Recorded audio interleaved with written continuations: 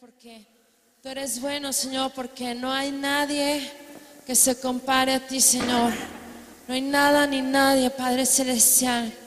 Oh Dios, en esta hora hemos venido a tu casa, Señor, a tu presencia, para honrarte a ti, para exaltarte, Señor, para declarar que tú eres nuestro Rey, nuestro Dios, que eres grande, que eres fuerte, poderoso, Señor.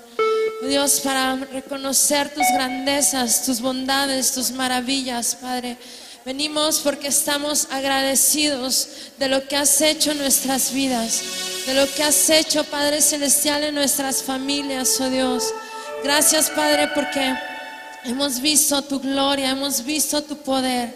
Y en esta hora, Señor, venimos a exaltarte también, Padre.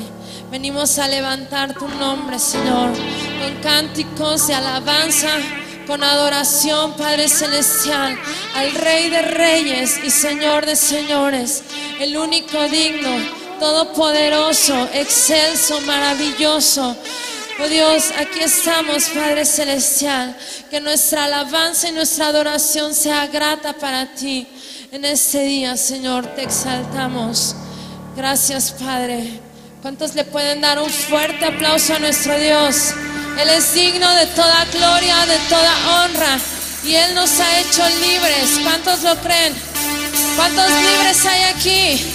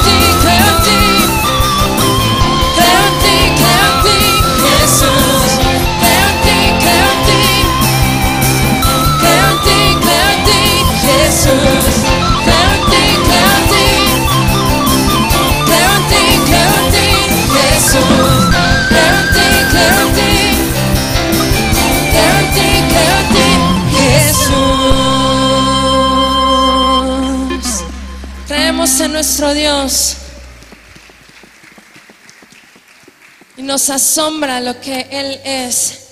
Amén. En esta hora, porque no cierras tus ojos y levantas tus manos y le dices, Señor, hemos venido a entregarnos ante ti. Hemos venido a entregarte todo lo que somos, Padre. Solamente a ti, Padre.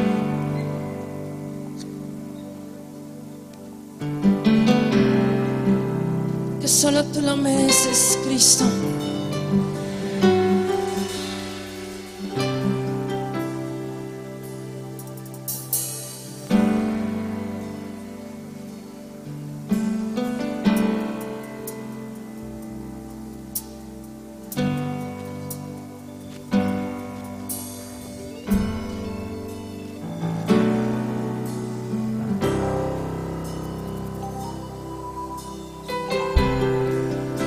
Nos entregamos a ti.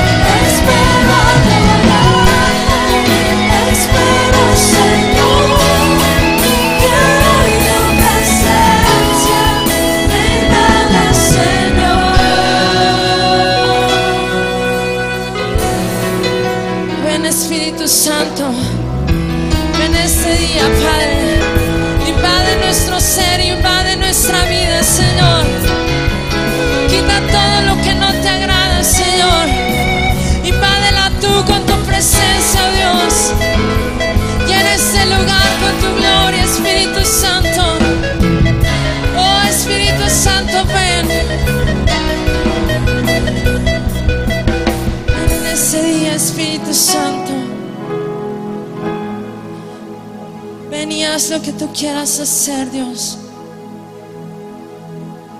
Ya no queremos ser más esclavos del pecado, Señor. Oh Dios, queremos abandonarnos en ti. Queremos seguirte a ti, Padre.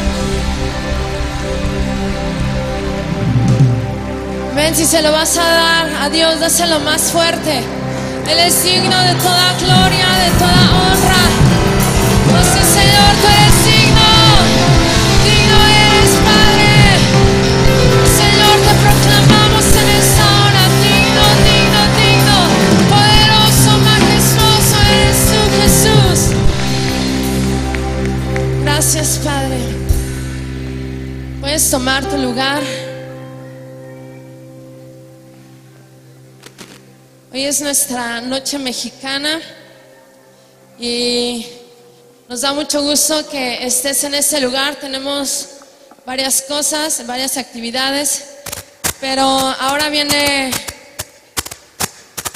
ahora viene lo más importante y es la palabra de Dios. Y en este día hemos invitado, sí, ahorita te doy para pagar, no digas allá en la tienda. Y hemos invitado en este día a nuestro pastor Gerardo. Entonces vamos a darle el lugar.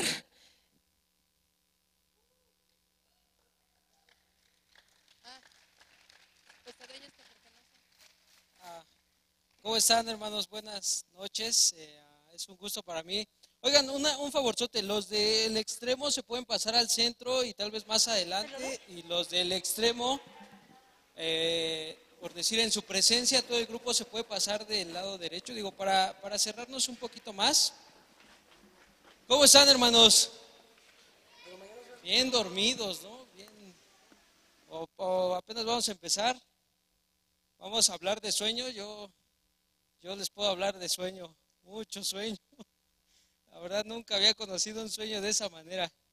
Pero gloria a Dios, estoy muy contento. Ah, es muy grato para mí decirle a mi congregación, a mi iglesia, que nació mi hija.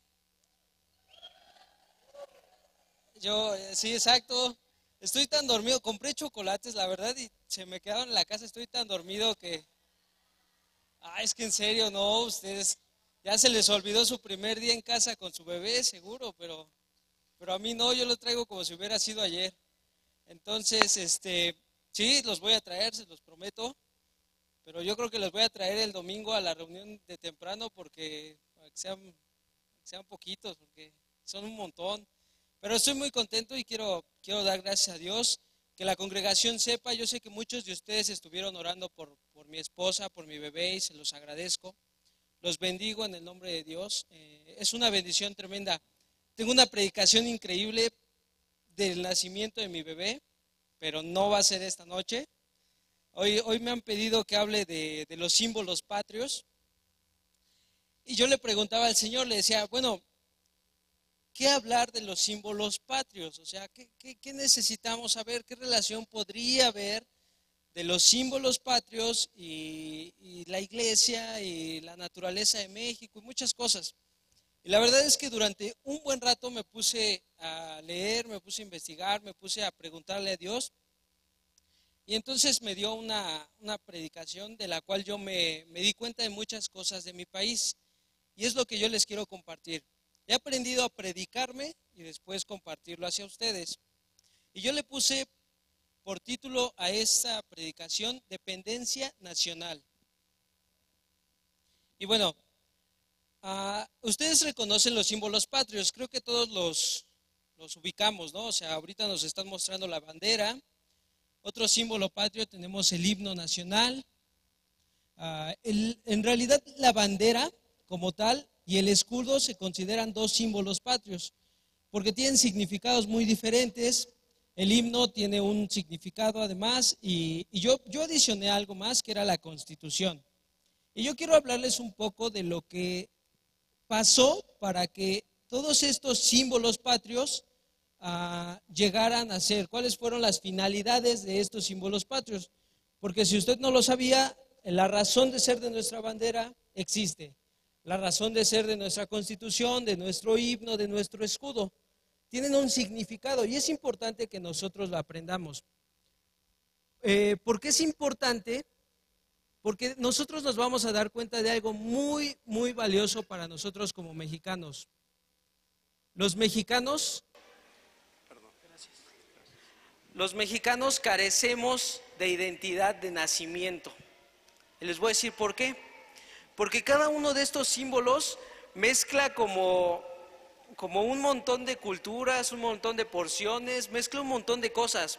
La verdad es que yo, les soy sincero, cuando me puse a investigar, me di cuenta que pareciera que los símbolos nacionales fueron como en el momento. ¿Qué está de moda hoy? Ah, pues tal canción, vamos a poner esa canción de, de moda. Pareciera, a mí me da ese resultado y les voy a decir por qué. Voy a empezar con la bandera. Eh, la bandera se celebra el 24 de febrero y es el mismo día que todas, eh, en que todas, la- ah, en que todas partes empezó la lucha de independencia. Ah, unieron sus, fuerzas para formar el ejército de las tres garantías o el ejército trigarante. Ah, todo esto tenía un significado, miren. En 1821, cuando originalmente fue creada la, la bandera y era la, la insignia del ejército trigarante, tenía los tres mismos colores que son blanco, rojo y verde. El blanco correspondía a la religión y correspondía a la fe, pero era a la fe católica.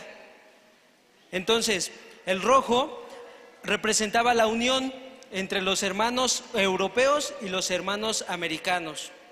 El verde significaba la independencia de España. Era en ese momento cuando, bueno, es que me puse a investigar, entonces no quisiera hablarles tanto de historia, quiero hablarles de, de- Cristo y ahorita los voy a meter a, a la palabra. Entonces, si ustedes notan, ¿cuál ha sido el cambio que ha habido en esa bandera desde 1821? Ninguno. O sea, en realidad conservamos los mismos tres colores, pero hubo una reforma liderada por el presidente Benito Juárez, donde solo cambió el significado de cada uno de esos colores, pero en principio siguen siendo los mismos colores. Dice así, verde es la esperanza, blanco la unidad y rojo es la sangre de los héroes nacionales.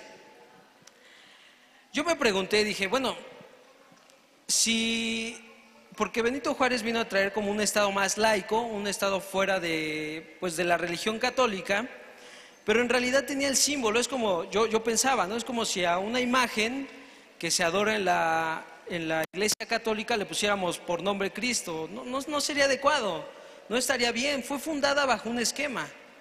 Entonces, si ustedes se dan cuenta, el significado sigue estando ahí.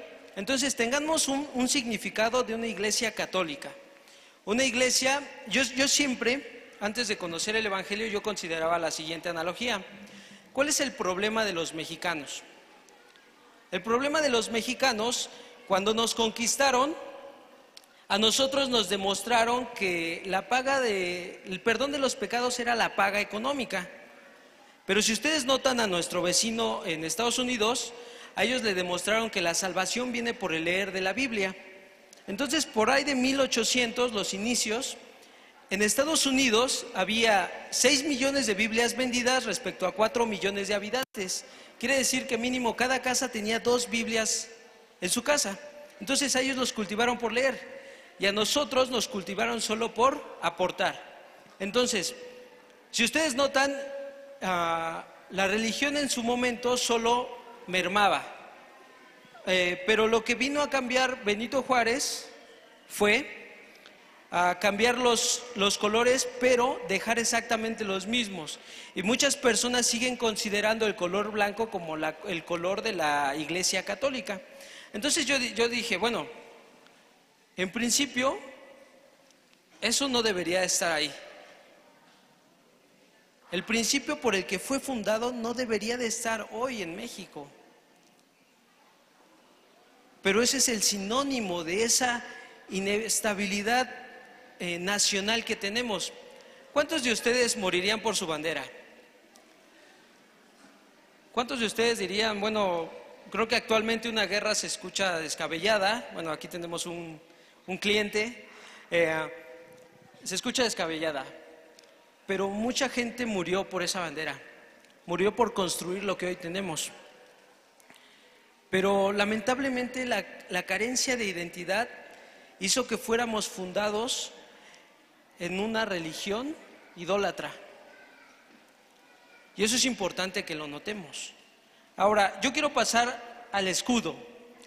¿Saben de dónde viene el escudo? Creo que eso es muy, muy conocido. Viene de... ah, está constituido por un águila mexicana con un perfil izquierdo expuesto, la parte superior de las alas en un nivel más alto que el penacho y ligeramente desplenaga- desplegadas en actitud de combate. El plumaje de sustentación hacia abajo tocando la cola y las plumas de esta área en abanico natural, posando, garra izquierda sobre un opal florecido que nace en una pequeña peña que emerge de un lago.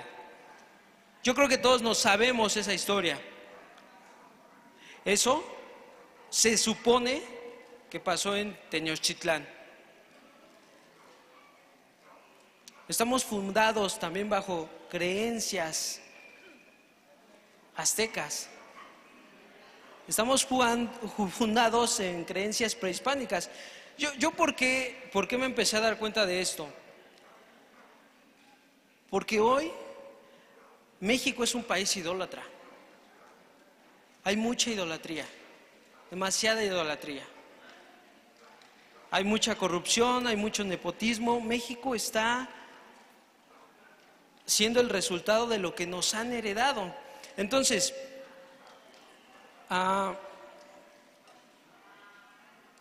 cuando el escudo, eh, de, de hecho hay toda una ley para hacer una bandera, para hacer un escudo, para portarlo, o sea, digamos que técnicamente estamos cometiendo un ilícito si usted lo trae en su carro, eh, si no está estandarizado. No se puede hacer simplemente por hacer una bandera. Y si la bandera le costó 15 pesos o 20 pesos, discúlpeme, pero no es una bandera estandarizada. Es una bandera, ahí se va. Y entonces pasamos al siguiente punto, las leyes, la constitución. La constitución fue fundada bajo esquemas que protegían a los más débiles, que protegían a los extranjeros. O sea, cualquier esclavo que llega a este país, el ejército mexicano está obligado a defenderlo a toda costa. Así, es lo que dice la Constitución. Cualquier persona que es violentada a sus derechos, el ejército mexicano está aquí para defendernos. Pero hoy nos hemos dado cuenta que las leyes solo están funcionando de un solo lado. Los políticos que son las que lo promulgan son las que menos la obedecen. Y entonces la corrupción, y no les explico, no, no les digo que, que es de hoy, estoy hablando desde 1917. Todo esto me lleva a, a pensar demasiadas cosas acerca de mi país. Ah, yo creo que mucho de lo que estamos pasando hoy es el resultado de no haber tenido el cuidado al fundarnos. Es importante el nombre, es importante para Dios nuestros nombres, es importante para Dios nuestro nacimiento, es importante tantas cosas para Dios, los símbolos que manejamos, pero, pero los hemos perdido. O sea, la constitución está para protegernos a nosotros, pero la tenemos tan olvidada que definitivamente la pisotean encima de los derechos de todos los que ustedes quieran. De hecho, habla hasta de los presos. Yo, yo estaba leyendo un poco acerca, digamos que de los artículos más importantes de la Constitución y habla hasta del cuidado de los presos, habla de los prisioneros políticos, habla de que hay una sección en la que habla de las garantías individuales, o sea, como el derecho básico de cualquier ser humano aquí en México. Hay una parte en la cual nos dice cómo es considerarnos mexicanos, qué significa ser un ciudadano mexicano. Hay todo un manual. Y entonces yo me puse a revisar, dije, bueno, hoy, 2017, septiembre de 2017, las autoridades no cumplen. Y después dije, bueno, ¿y yo qué no cumplo? Ah, bueno, pues no protejo a esto, no hago esto, no hago esto. Y me di cuenta que estaba en pecado. que hay una situación tremenda, que hay una situación que hace falta arreglar respecto de nuestras leyes. Eh, he escuchado al pastor decir que hay leyes que son injustas, y sí es cierto. Son injustas muchas de las leyes que tenemos, pero hay que cumplirlas. Ah, ahí entro en una dualidad realmente, porque Dios nos mandó eh, a cumplir las leyes, pero hay leyes que si nosotros las vemos, realmente son leyes que van en contra de Dios. Entonces, pienso, le hace falta a- al pueblo mexicano una reforma, pero una reforma desde el corazón. Ahora les voy a, citar el siguiente punto, el himno nacional mexicano. El, himno nacional mexicano fue instituido en el gobierno de Antonio López de Santa Anna en 1853. Se convocó un concurso en el cual ganó a Francisco González Bocanegra, mexicano por nacimiento de San Luis Potosí. La composición de la música eh, fue contemplada igual un concurso, el cual ganó un compositor catalán, o sea, un español. Yo no sabía, yo realmente yo sabía que era Jaime Nuno y Francisco González Bocanegra, pero nunca supe que el que organizó o el que ganó el concurso de la música era español. Porque hoy en día, si usted nota, el mexicano no apoya al mexicano. El mexicano eh, prefiere ir con, con otras partes del mundo y les voy a poner un ejemplo. Uno de los doctores que, atiende a mi, que atendía a mi esposa y a mi bebé eh, está estudiando una especialidad en medicina de la reproducción. Y entonces el cuate es súper buenísimo y lo van a mandar a España, va a hacer unas, unos este, cursos allá. Y me dice, yo quisiera regresar y poner, por- porque bueno, hemos, eh, convivimos bastante y nos pusimos a platicar un día y me comentó, yo quisiera hacer mi, mi clínica de reproducción, eh, en cual es, es a veces este, apoyar a las mujeres que no pueden tener embarazos, embarazos de alto riesgo, o sea, situaciones muy, muy difíciles de explicar por ahora.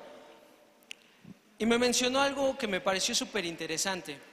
Me dice, pero yo quisiera que todo fuera nacional. Le dije, ¿cómo que todo nacional? Pues no, no, hay, no hay proveedores. Me dijo, no.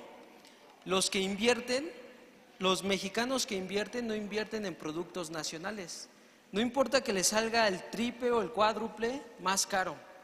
Invierten en productos extranjeros. A mí se me hizo eh, como sumamente bobo el que si aquí está más barato, ¿por qué van a ir a buscarlo?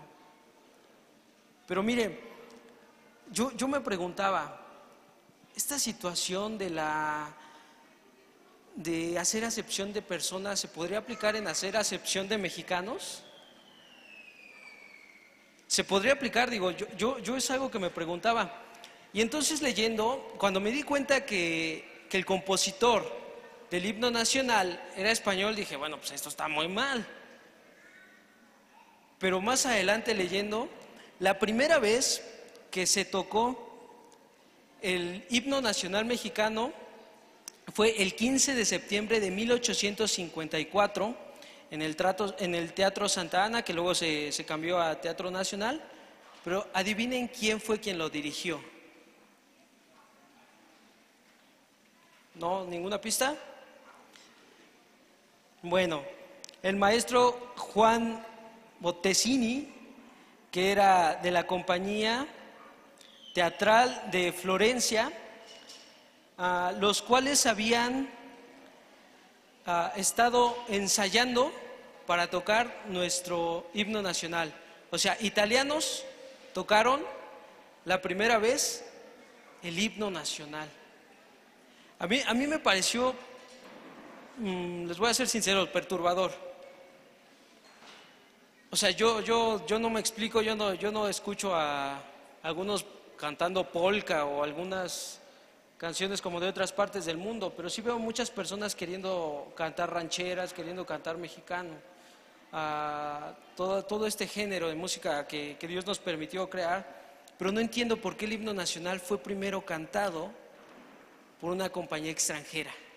No me explico, realmente. No sé qué pasó, no sé por qué, no sé si nos vio muy morenitos el, presidente en turno, no sé. No sé si le hubiera gustado más altos o más güeritos, no, no tengo idea. Pero lo que sí tengo idea es que es un clásico eh, actuar. Y les estoy hablando de 1854 y durante todo este tiempo siempre hemos tenido esa acepción. Entonces, si ustedes notan como pueblo, fuimos fundados en idolatría. Nuestra bandera es un símbolo de la idolatría. ¿Se acuerdan del blanco? El escudo nacional es un símbolo, vestigios pasados, pero lo que a mí me preocupa respecto al escudo es cómo lo defienden las personas. La Biblia es palabra de Dios y las personas no la creen. Y aquello que alguien dijo una vez, una persona, no, un no Dios, nada, una persona dijo una vez, está siendo el emblema de nosotros como mexicanos. Y lo que dice hoy Dios parecen como cuentos para los demás. Me preocupó mucho esta situación, yo les voy a ser sinceros. Tenemos un mes patrio que conmemora la independencia, pero no sé cuál independencia. Seguimos dependiendo, seguimos buscando siempre fuera, carecemos de amor como mexicanos, no hay un orgullo nacional. Yo les voy a ser sincero, yo recuerdo cuando de niño a mí me regañaron porque en un partido, en una televisión estaban tocando el himno nacional y yo me levanté. Porque yo recuerdo y lo tengo muy marcado, la maestra nos dijo, cuando escuchen el himno nacional se tienen que poner de pie y saludar. O sea, imagínense un chavillo de 6, 7 años, pues sí se veía medio, medio inocente. Pero si no hemos aprendido a hacer lo que nos han enseñado durante tanto tiempo, es claro que no vamos a aprender hacer lo que Dios nos manda. Es claro. Es algo bien sencillo. Si a usted ya se le olvidó el himno nacional que lo cantó, bueno, en mi caso yo lo canté toda la primaria, seis años, toda la secundaria, tres años, que nueve años, y sí, si me pregunta si me lo sé, o creo. Bueno, no me pongan a cantarlo, no, no vaya a ser que, que me equivoque. Pero a lo que voy es, imagínense cómo nos ve Dios. Tenemos leyes que no cumplimos, tenemos altares exhibiéndolos muy bonitos en nuestros autos, en nuestras casas. Tenemos significados ocultos que son muy visibles, pero no hacemos lo necesario por tener a Dios como primer estandarte. Yo le puse dependencia nacional a este mensaje.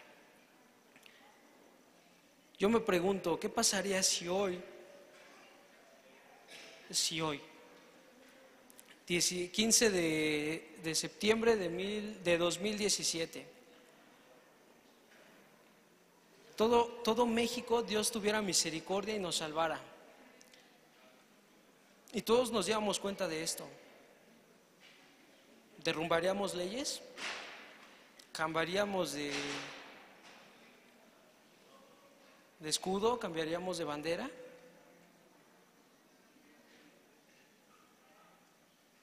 ¿Les gustaría tener una imagen de algún santo de los que tienen por allá y ponerle Cristo enfrente? Yo creo que no. Yo creo que ninguno de ustedes haría eso. Pero como mexicanos hemos perdido una identidad eh, que realmente nunca existió. Nos enseñaron de alguna manera una identidad a lo largo de nuestro inicio de vida, pero lo cierto es que esa identidad solo es para apantallar. La verdad es que hoy México se está derrumbando. Yo no sé qué habría que celebrar. Hoy vivimos uno de los tiempos más difíciles en nuestro país. Somos el país con más muertes sin tener guerra. Somos el país que en sus bases dice que la libertad de expresión es un derecho, pero no es cierto.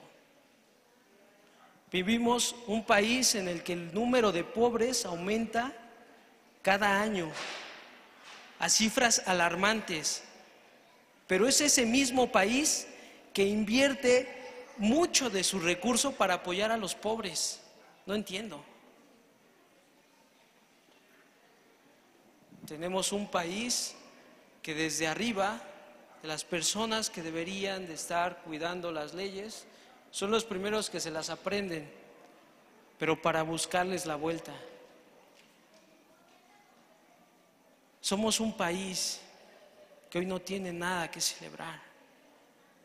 Pero yo sí les propongo algo. La dependencia nacional, debemos de mover esta nación a Cristo. Cristo tiene para nosotros grandes cosas. Cristo no nos va a dejar desamparados. Cristo no dijo y luego se va a echar para atrás. No va a pasar así. Hoy como mexicanos yo entendería a muchos de ustedes su enojo, su conformismo, ah, toda esa situación acerca de que es injusto.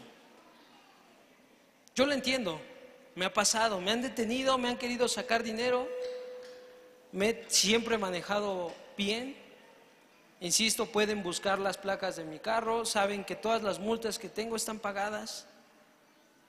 Me tachan en el trabajo de tonto porque pago mis multas.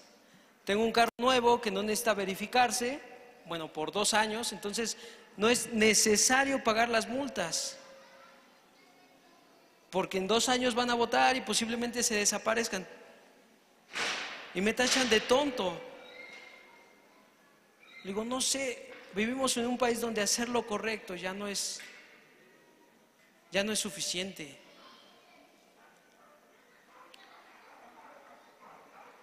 Cristo es la solución. Yo sé que todos ustedes han tenido a Cristo como su Salvador, pero yo no les quiero que pidan por ustedes. Necesitamos pedir por nuestro país. La verdad es que estamos ah, Estamos viviendo una falsedad tremenda. Los gobiernos, los gobernantes piensan que tienen una super, super gestión, que todo lo que hacen es bueno, que todo lo que hacen es perfecto. Pero lo que a mí me ha tocado escuchar y ver es muy distinto. Lo que me ha tocado leer es muy distinto. La verdad es que nuestros hijos ya no están seguros. Yo acabo de tener a mi hija. ¿Sabe qué pasaba? Cuando queríamos salir del hospital, prácticamente tres retenes de policías, porque se roban a los niños. Les ponen marcas para que sepas quién es tu hijo. Esto no puede estar pasando. No debería de estar pasando. O sea, y yo, yo, yo me explico, yo me pregunto, ¿qué estamos haciendo? Como nación, somos todos. Somos todos parte del problema, así como somos todo parte de la solución.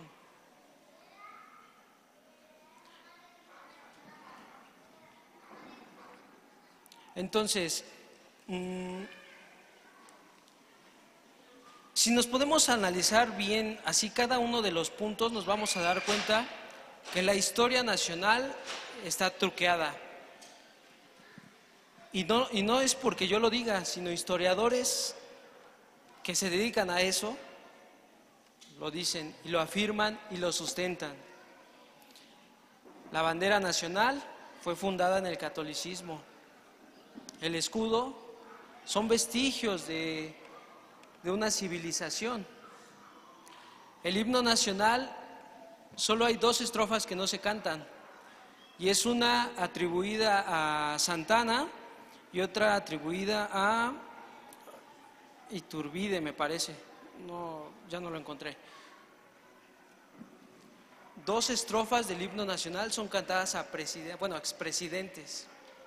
Se quitaron, se, bueno, no se cantan, siguen existiendo en el himno nacional, si usted las busca en la Constitución, están ahí, pero son cantadas para presidentes. ¿Sí me explicó toda esta situación? La Constitución defiende solo en papel, porque muchas veces los inocentes, y México está plagado de inocentes en las cárceles. La Constitución contempla todo un capítulo acerca de las, de las culturas indígenas. Y los indígenas son los que primero van a la prisión porque no se saben defender en español. Hay mucha, pero mucha corrupción. Y la verdad es que Dios nos dice que Él puede ser nuestro gran Padre. En, Efesi- en Primera de Corintios 1, 26 al 29 dice, pues mirad hermanos vuestra vocación, porque no son muchos los sabios según la carne, ni muchos poderosos, ni muchos nobles, sino que de lo necio del mundo escogió Dios para avergonzar a los sabios, y lo débil del mundo escogió Dios para avergonzar a lo fuerte. Y lo vil del mundo y lo menospreciado escogió Dios, y lo que no es para deshacer lo que es, a fin de que nadie se, jacte en su presencia. Yo sé que a usted hoy le suena descabellado lo que le estoy diciendo, pero usted está aquí para hacer diferencia. Yo no soy sabio. Yo, yo me declaro incompetente para eso de leer las leyes, no las entiendo.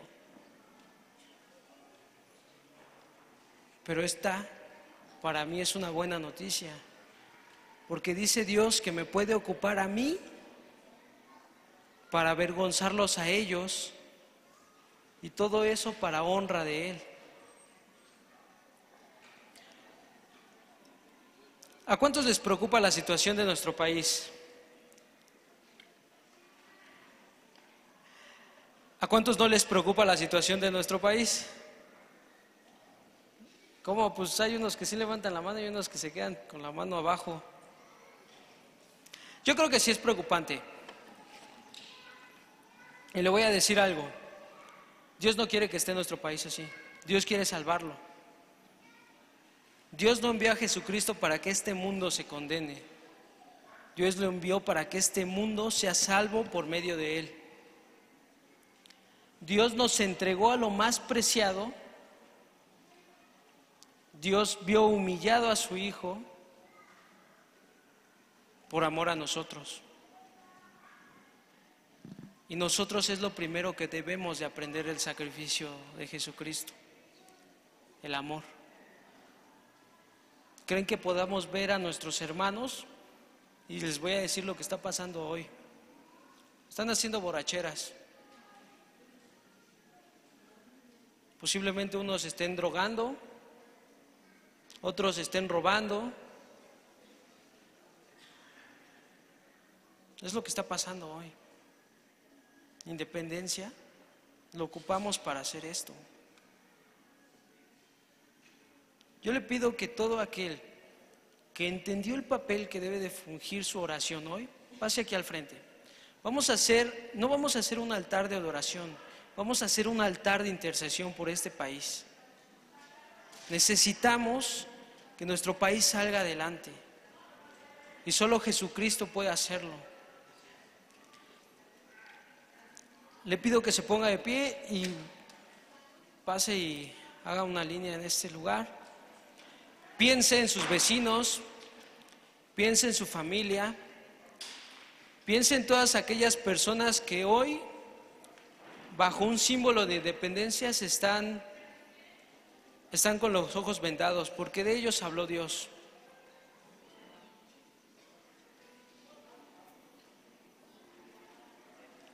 Comience a hablar. Esta noche no va a haber ministración. Esta noche nosotros vamos a interceder. Y Padre, delante de ti, Dios, reconozco que mi pueblo y yo hemos pecado, Dios, contra ti. En todo lo que hemos hecho, Dios, pareciera que generamos leyes para oprimir a los más necesitados, Dios. Buscamos programas, Dios, sociales para apoyar a los pobres, pero eso solo es para ganar este dinero, Dios. Hemos sido avaros, hemos sido injustos, Dios.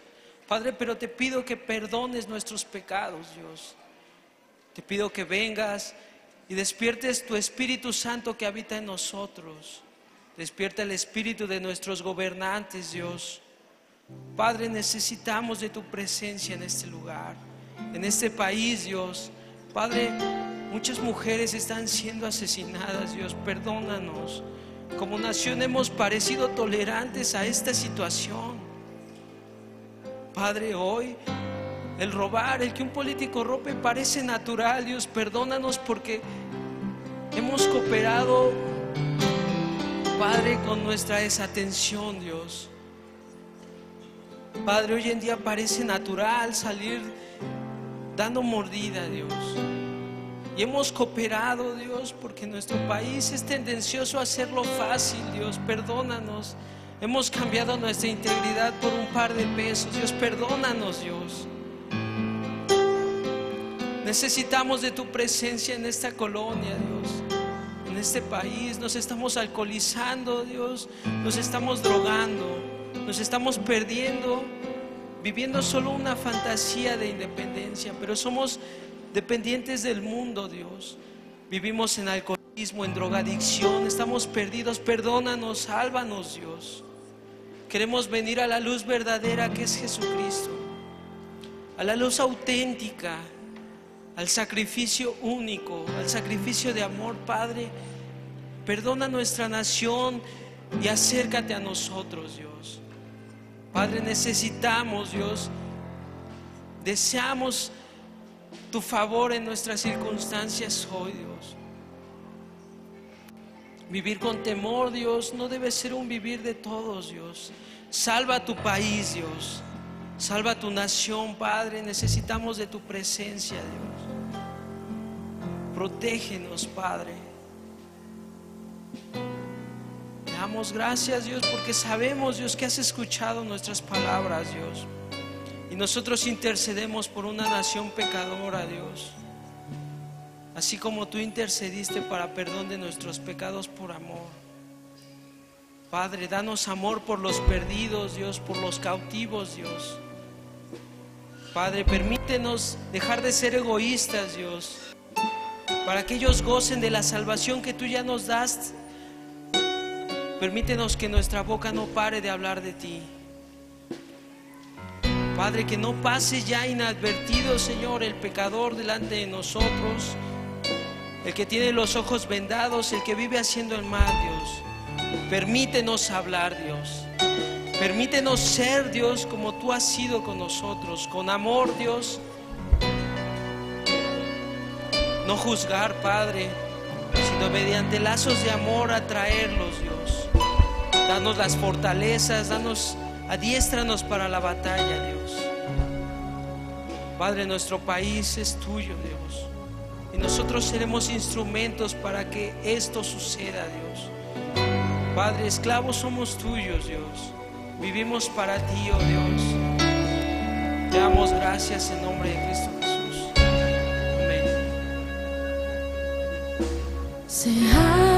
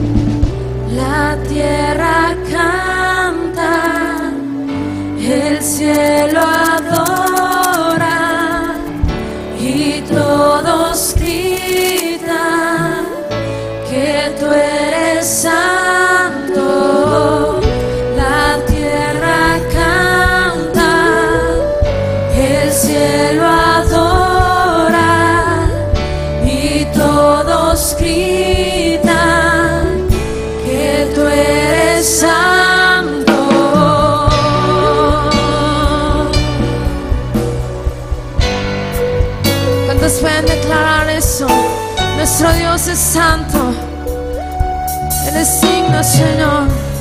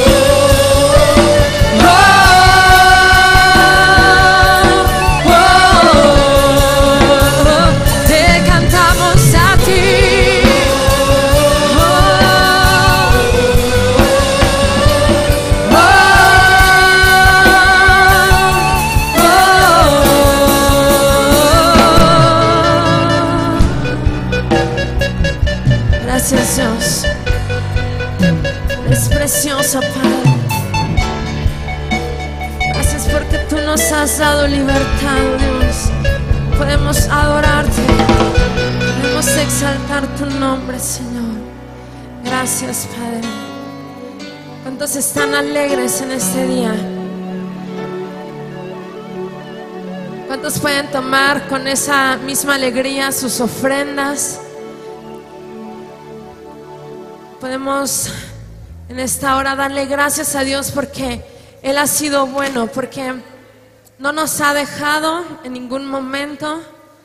Hemos tenido para todo lo que hemos necesitado y aún más. Amén. Toma tu ofrenda y vamos a orar en esta hora. Dios, te damos gracias por estas ofrendas, Padre, que cada una de las personas trae.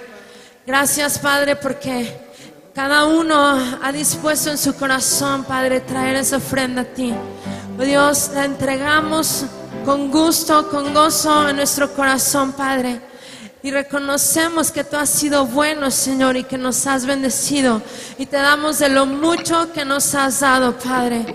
Bendice a cada dador alegre, Señor, en esta hora. En el nombre de Jesús. Amén.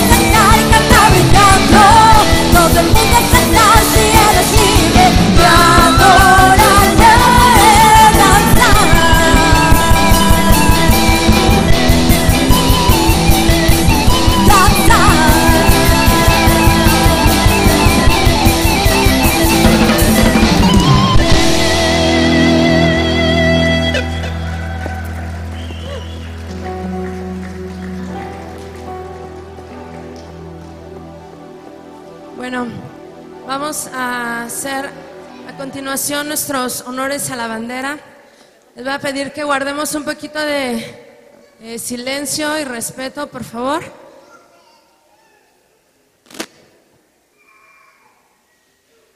Atención, firmes.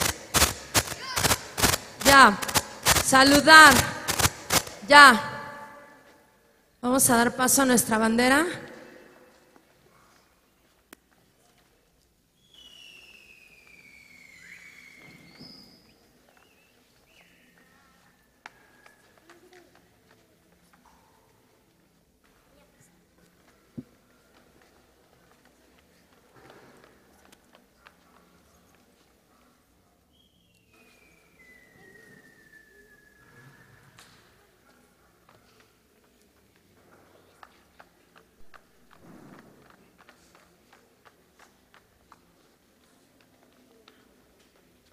Firmes.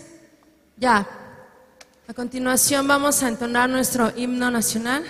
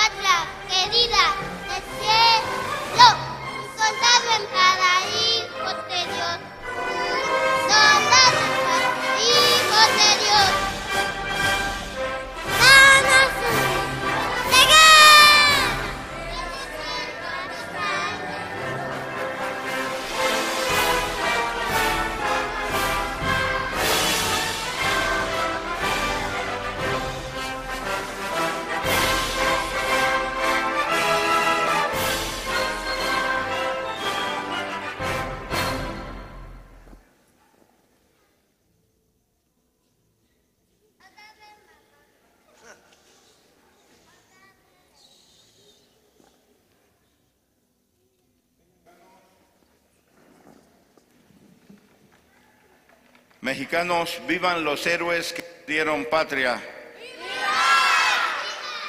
¡Viva! Hidalgo! ¡Viva! Morelos! ¡Viva! Josefa Ortiz de Domínguez! ¡Viva! Allende! ¡Viva! Aldama!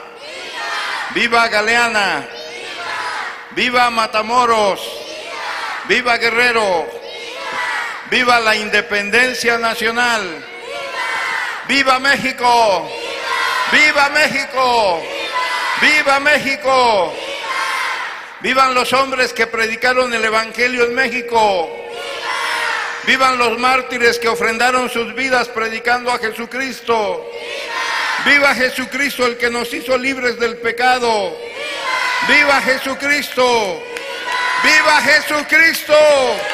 ¡Viva Jesucristo! ¡Viva el Padre, el Hijo y el Espíritu Santo!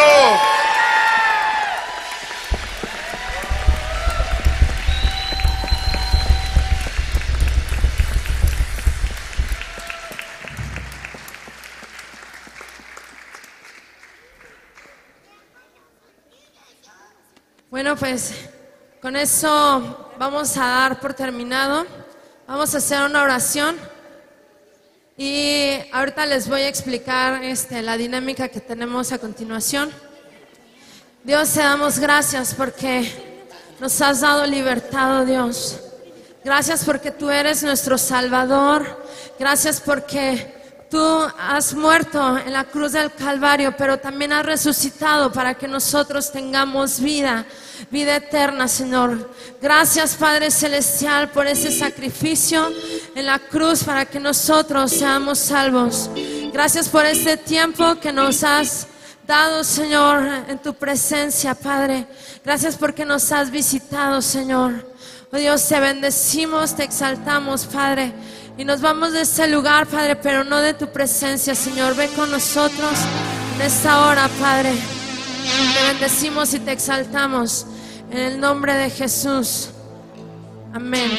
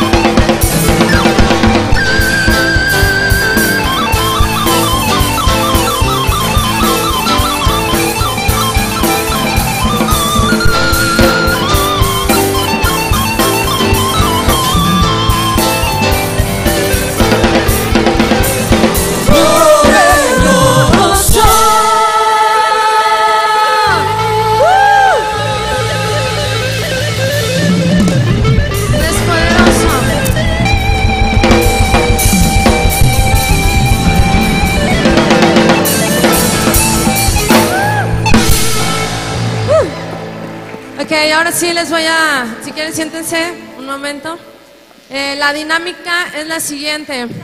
Hay dos equipos que están concursando y tenemos un mismo precio en, en la comida. Es un combo, un combo mexicano que consiste de comida, bebida y postre. Este combo cuesta 35 pesos.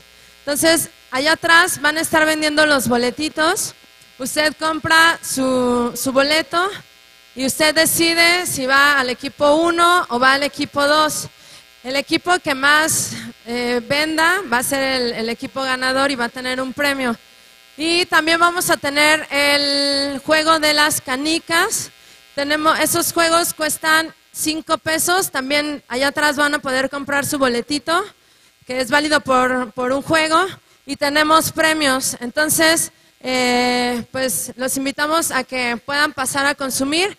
Y eh, también está la tiendita ahí atrás donde tenemos refrescos. Si no les este, apetece el agua, también hay refrescos ahí atrás, hay papitas, hay algunos dulces. Entonces, este, pues bueno, pueden disfrutar en este momento.